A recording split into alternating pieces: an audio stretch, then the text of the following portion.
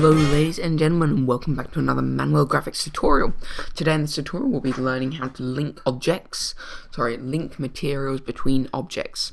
So if you don't know what I mean, when you have a fairly large scene and you've modeled everything and you're ready to set up all the materials, let's say you've got a selection of trees that you haven't used the particle system to place, um, and you want to make all their leaves green.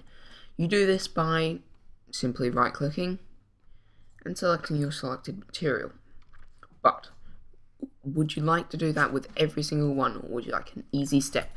So an easy step I think or that you could use that I've used in the past before um, before this tutorial of course is using the control L command. So what I'm going to show you is how I'm going to link all these materials to just one sphere. So I'm going to set, oh I've chosen this red here.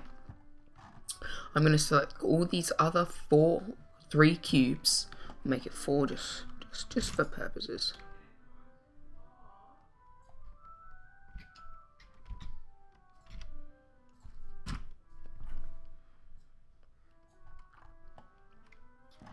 Um, all these four cubes of four spheres to that material without going to this panel at all. So we're going to just select all of these holding shift and we're going to select our main sphere.